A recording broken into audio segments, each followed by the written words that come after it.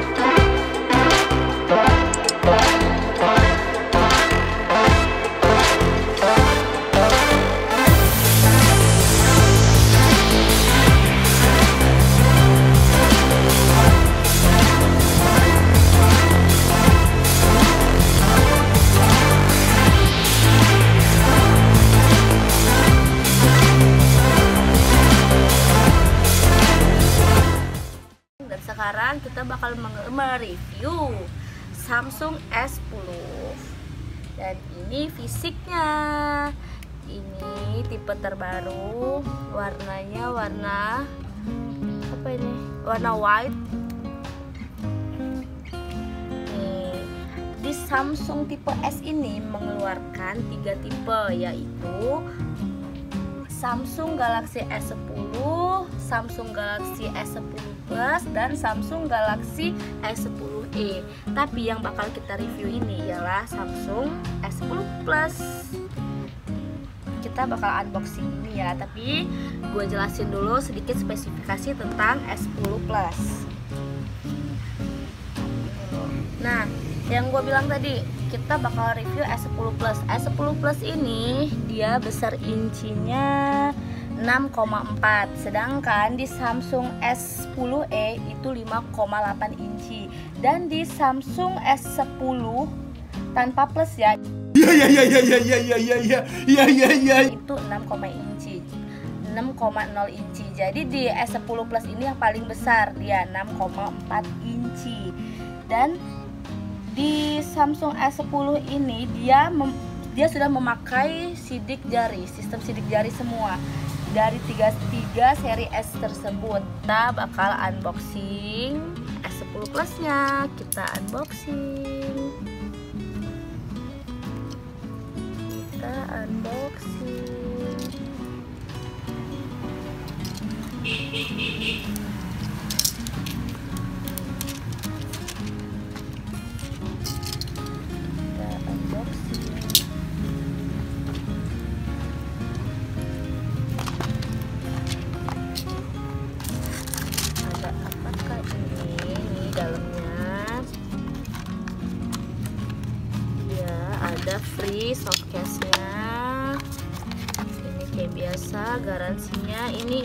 injektornya buku panduannya ini softcase-nya ya free soft. Hardcase hardcase ini panduannya. Panduan ini ya. Dan kita buka handphonenya. Dan ini bentuk handphonenya guys. Warna putih. Ya warna putih. Kita kembali lagi ke sininya dalamnya ada charger. Ini konektor. Ada yang berbeda. Ini sebentar kita lihat dulu. Ini ada USB untuk chargernya. Dan ini ada headsetnya. Sepertinya ini sudah wireless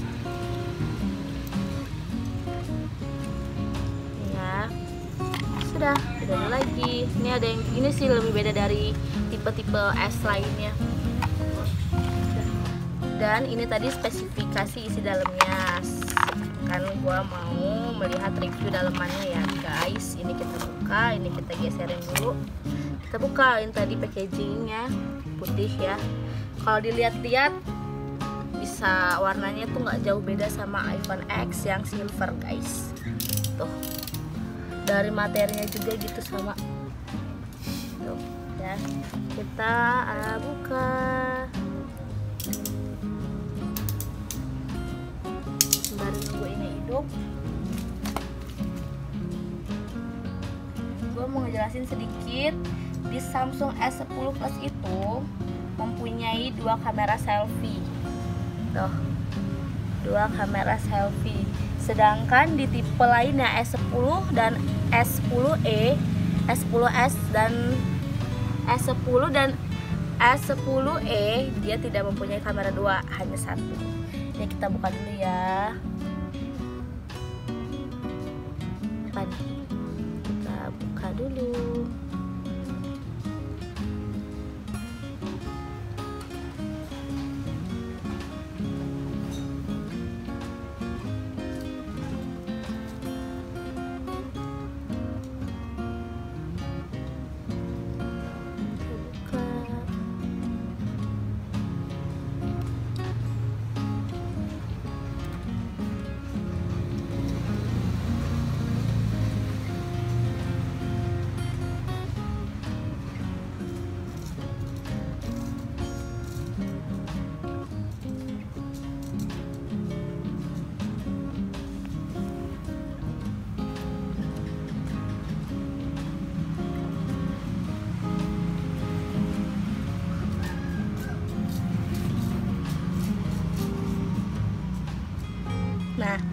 ini dia. Ini bisa dibilang untuk awalannya ini sama aja sih. Cuman yang dibedakan di S10 ini dia itu bisa wireless charging. Ini sih yang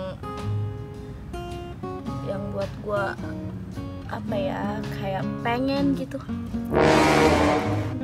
Kita lihat nih wireless charging kita coba bentar ya sebelum gua ngejelasin spesifikasi lainnya.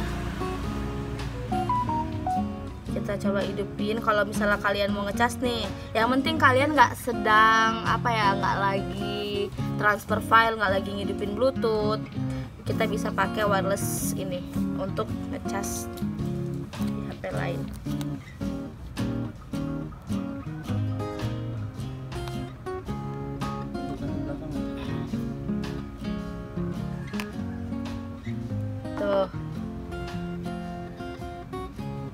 ngecas ya dia cukup ditempelin aja. Kalau ada yang nanya "E, emang itu kita ngecas emang di sini nggak ngurang baterainya? Ngurang tapi jangan takut. Di Samsung S10 ini dia mempunyai 24 fast charging lebih cepat daripada yang lainnya. Tuh giliran saya lepas dia lepas ya. Tapi kalau saya giniin dia langsung isi dengan otomatis. Ini sih kelebihan S10 Plus dan kita kembali ke spesifikasi lain. Udah ya kita patiin lagi untuk spesifik apa? Harusnya udah. Dan sekarang kita bakal mereview kameranya. Oke, di sini gua yang bakal nge-review kamera dari Samsung S10 Plus ini. Nah, buat kalian yang belum tahu spek dari kamera 10 S10 ini, siap-siap dengerin dari gua kelebihan dan kemewahan dari kamera S10 ini. Nah, di S10 ini udah banyak tuh mode-mode yang ada di uh, kameranya. Dia settingannya udah seperti kamera DSLR udah pro-nya ada. Pokoknya mantep banget buat kalian. Jadi buat kalian yang suka traveling yang sering bawa kamera bisa kalian tinggalin kameranya karena kamera ini udah uh, kamera di handphone ini udah seperti kamera DSLR ada banyak mode-modenya Nah, di sini ada live focus atau fokus live-nya. Udah mantep banget untuk blurnya.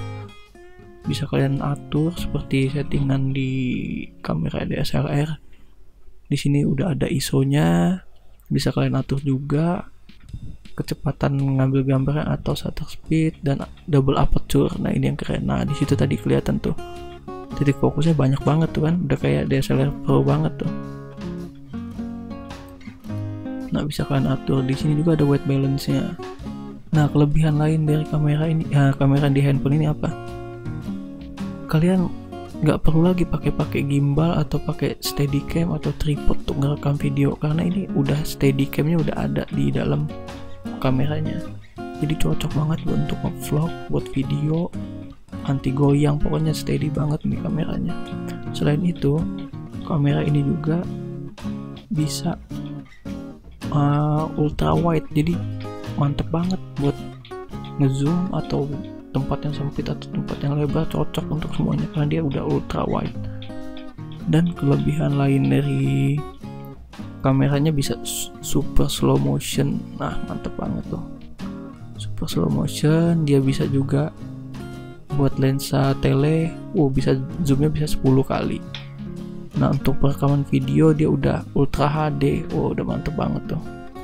Dan ada juga fitur kecerdasan buatan. Jadi dalam uh, cahaya yang minim kalian bisa ambil gambar yang tetap cahayanya bagus. Karena sensornya udah mantep banget nih dan nggak ngurangin dari apa namanya warna dari yang objek yang kita ambil. Tuh untuk zoom aja udah mantep banget bisa 10 kali lipat. Jadi untuk kalian kalau beli handphone ini udah cocok. Bisa digunakan untuk gadget apa pun ini. Nah kalau menurut gua sih saingan dari Huawei mungkin ini ya.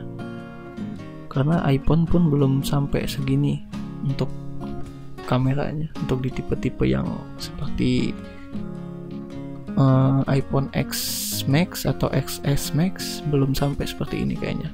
Baru Samsung. Nah untuk live fokusnya tuh mantep banget kan.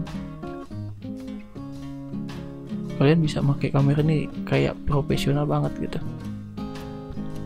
Nah ininya LCD nya udah AMOLED ya udah saingan dari iPhone XS banget tuh. Dari materialnya sama banget tuh. Stainless stainless kaca begitu. Kita coba buka SIM cardnya. Kalau untuk Samsung biasanya sama biasanya kayak biasanya sih sama aja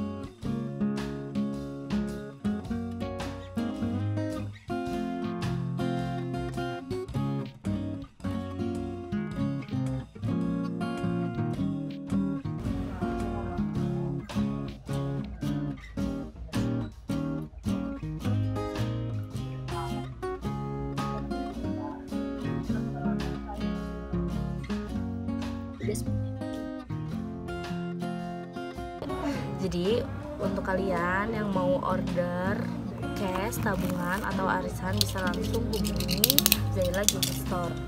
Untuk arisan kalian bisa hubungi ke Zaila Shop dan untuk cash dan tabungan kalian bisa langsung hubungi at Zaila Gadget Store gitu. Jadi untuk kalian yang mau order langsung hubungi admin. Admin. 拜拜。